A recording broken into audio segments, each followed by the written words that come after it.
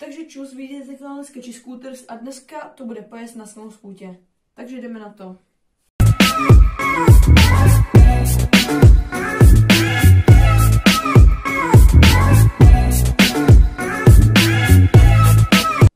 OK, ale ještě než začneme, tak byš opravdu zkontrolovat, jestli tam máš ten odběr se zvonečkem, protože víš, tak 57% z vás nás neodebírají, což si myslím, že je opravdu škoda a navíc vás to nic nestojí a nám to jedině pomůže.